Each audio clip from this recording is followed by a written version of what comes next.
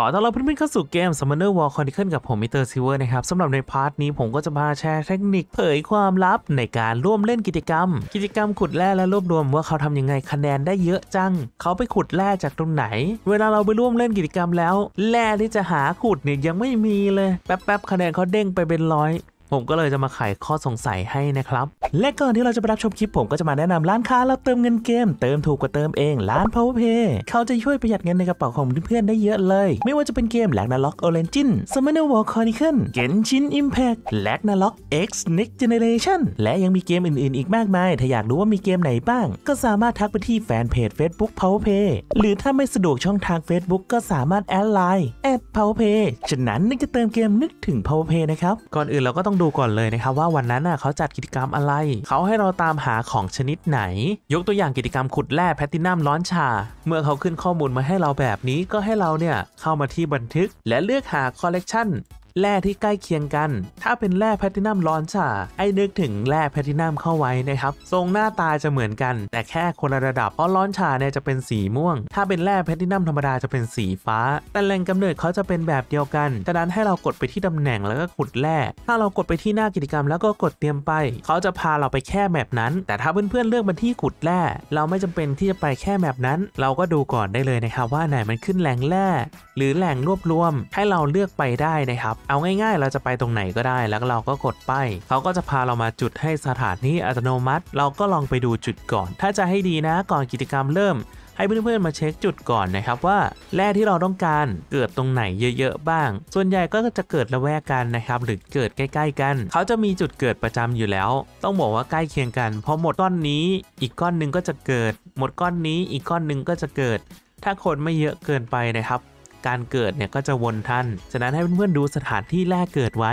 ว่าละแวกไหนแรกเกิดเยอะ เวลาเราร่วมเล่นกิจกรรมเนี่ยก็จะได้มาขุดง่ายๆหน่อยนะครับ ในกรณีที่คนเยอะมากเราสามารถทำการย้ายช anel ได้นะครับ เพราะว่าเกมนี้เขาก็จะมีหลากหลายช anel เราก็เลือกช anel ที่คนน้อยเข้าไว้ ถ้าคนเยอะนะครับ เราควรที่ต้องย้ายช anel งั้นบางทีเราอาจจะขุดไม่ทันเขาหรือว่าถ้าเราอยากครองช anel เราก็สร้างมาสักหลาย AD แล้วเอาคนไปอัดในช anel นั้นก่อนกิจกรรมจะเริ่มก็ได้ แต่ไม่จำเป็นต้องทำขนาดนั้นนะครับ เราก็สามารถติด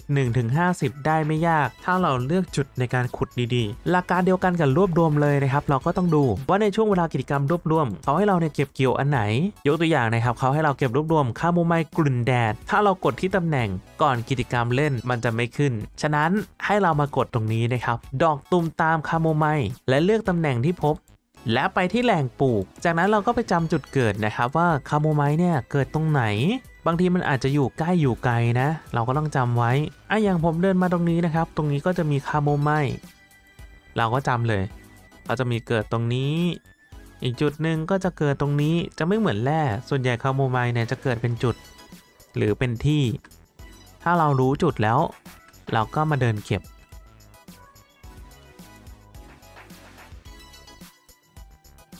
นี่อย่างตรงนี้นะฮะอย่างเยอะเลยด้านบน ถ้ามีคนเยอะเราก็ทำการย้ายช anel เอา หลีกเลี่ยงช anel ที่มีคนเยอะนะครับ เพราะว่าบางทีของในกิจกรรมเนี่ยมันจะไม่เพียงพอ แต่ผมว่าแค่เดินเลาะนี่ก็น่าจะเอาเรื่องอยู่เหมือนกันนะครับ แต่วันนี้ไม่ใช่วันกิจกรรมไง เพราะปกติผมก็ไม่ได้ค่อยได้เข้าร่วมกิจกรรม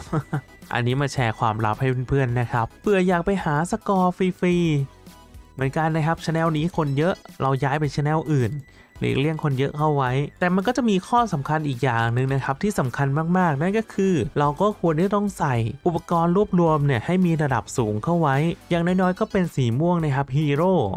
แต่ถ้าจะให้ดี ถ้าเราจะเน้นร่วมเล่นกิจกรรมอะต้องเป็นอุปกรณ์ระดับตำนาน ไม่ว่าจะเป็นถุงมือตำนาน หรือขวานเจาะระดับตำนาน ซึ่งพวกเนี้ยเราจะได้จากร้านค้ากิลเลยครับ ก็ต้องมีแต้มกิลก่อนนะ 1,500นะครับ ขวานเจาะ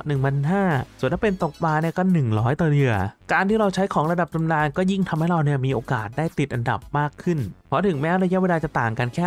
0.5 แต่เราไม่ใช่เก็บแค่อัน 2 อัน เราเก็บจำนวนเยอะ ฉะนั้นเวลามันก็จะมีความต่างไปเรื่อยๆ ต่างไปเรื่อยๆ พวกอุปกรณ์ระดับตำนานจึงมีบทบาทสำคัญนะครับ ซึ่งนี่ก็น่าจะเฉลยความลับจากที่เพื่อนๆหาแร่ไม่ได้ ขุดแร่ไม่ได้รวบรวมไม่ได้ ก็น่าจะตอบโจทย์ให้เพื่อนๆได้แล้วนะครับอย่าลืมไปร่วมเล่นกิจกรรมกันนะเรียกได้ว่าคนไม่รู้นี่ก็พลาดกิจกรรมไปหลายรอบอยู่เหมือนกันเลยนะครับ ยังไงก็ค่อย ๆ เข้าไปร่วมเล่นกิจกรรมกันนะครับเพื่อรับของรางวัล แล้วก็ขอฝากรบกวนกดไลค์กดแชร์กด Subscribe แล้วก็ comment กันหน่อยนะครับ ยังไง part นี้ก็ขอขอบคุณมากๆนะครับที่เข้ามารับชมเจอกันใหม่ part หน้า